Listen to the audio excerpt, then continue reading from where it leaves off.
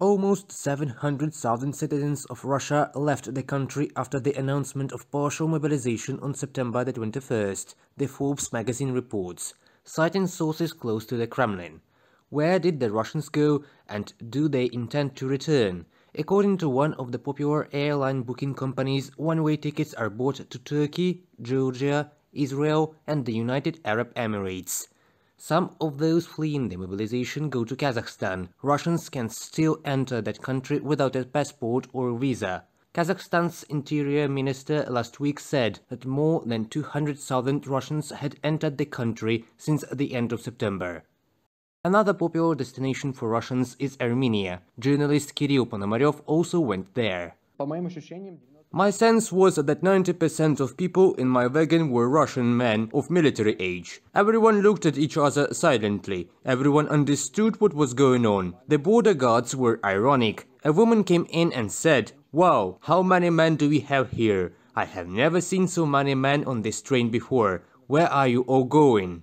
Everyone said the same thing. I'm going to relatives, to my grandmother. I'm going to friends. I'm going to my girlfriend to friends, relatives, and not only there. Many Russians leave for Georgia. They also do not need a visa to enter this country. According to the Ministry of Internal Affairs of Georgia, about 70,000 Russian citizens arrived in the country after the announcement of the mobilization. One of them is Igor Tikhy. The man says he does not want to fight and cut off his family from civilization, remaining to live in Russia.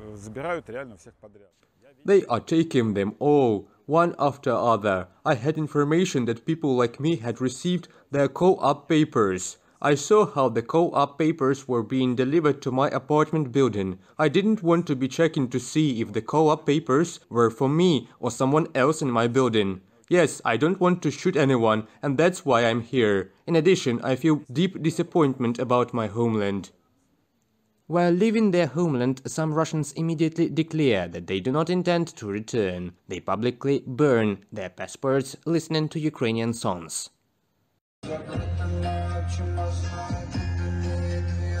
However, Georgia, Armenia and Kazakhstan most often are only transit points for those fleeing mobilization. Once there, Russians contact the embassies of other countries with requests to leave for Germany, France and other EU countries. But the EU countries have a selective approach to the question of whom to let in and for how long member states need to do a very thorough security assessment and if a person could be a security threat or be a threat towards the international relation for some of the member states, this person should not be issued a visa.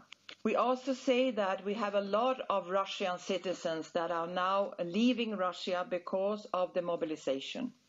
If a person, a Russian citizen, intends to stay longer than 90 days in the EU, he or she should not be issued a visa. France has already spoken out on the topic of Russian migration. According to Deputy Minister for European Affairs Laurence Boone, not just draft evaders, but dissidents who fight Putin's regime and fear persecution are welcome in the country. Those who, for various reasons, are not ready to leave Russia are sometimes trained to pay off their service and even mutilate themselves in order not to go to war.